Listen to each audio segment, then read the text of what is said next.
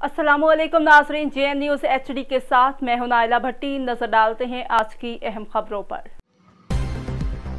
लसबेला से खबर शामिल करते हैं। वज़ीर अला बलूचिस्तान के सबक माउन खसूसी, सरदार सादा शहजाद सालह भोतानी की क्यादत में म्यूनसिपल कॉरपोरेशन हब के Baloch Khan Rind colony, ward number 40 के उम्मीदवार रजब अली रेंद और अब्दुल शकुर रेंद भोतानी कारवास लसबेला अवामी इतिहाद के उम्मीदवार आज़म रेंद के हिमायत में दस्तबरदार हो गए। मेहमान खसूसी के पहुँचाने पर कॉलोनी के मकीनों ने शानदार इस्तेबाल किया और फूलों की पत्तियाँ निछावर की और आज़म रेंद की जानब से मेहमानों को सिंधी अजरक के पहनाए। तकरीर से खिताब करते हुए वजी अला बलूचिस्तान के सबक मौन खसूसी सरदार ज़्यादा शहजाद साल भोतानी ने कहा है कि भोतानी बरदरान की ही हमेशा से तरजीह रही है कि आवाम के बुनियादी मसाइल इनकी दहलीज पर हल हों।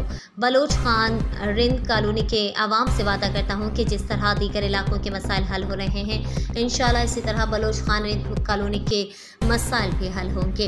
और कहा कि इन तामीर तरक्की और खुशहाली का सफ़र इसी तरह जारी और सारी रहेगा।